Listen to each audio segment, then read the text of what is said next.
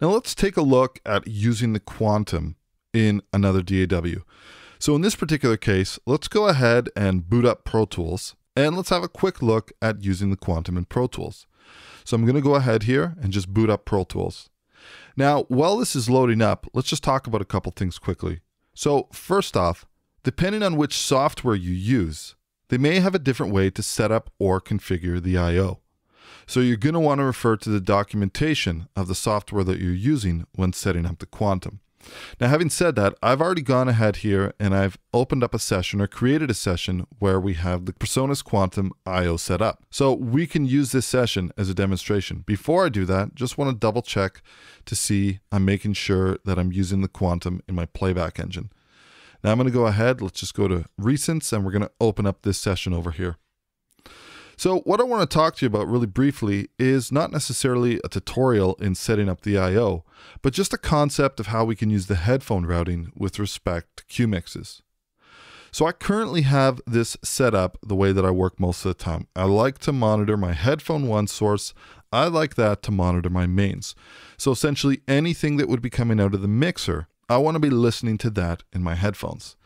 But let's talk about if we needed to set up another send. So let's say that we wanted to set up a send for an artist that we're working with. Let's go into universal control for a second, and we just want to make sure that we're using another output. So in this case, I can use phones two. Now this is a direct output.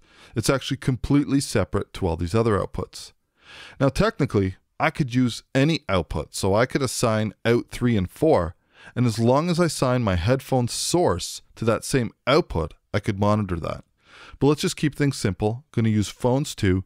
Now back in our DAW of choice over here that we're using, we can just go ahead now and we can route a send directly to the phones two. So I'm just going to go to outputs over here and let's use HP2.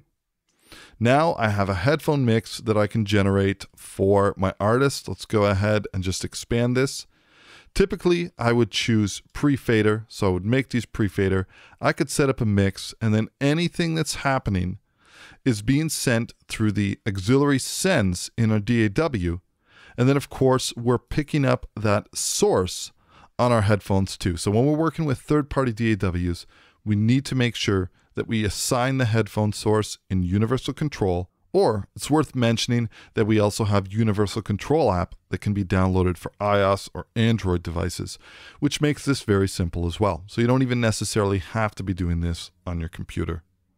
And then, like I mentioned, any routing that's happening is done within your software at this point. We don't have a low latency software mixer that we have to manage. So anything that we need to do in terms of monitoring, it's all done within your software.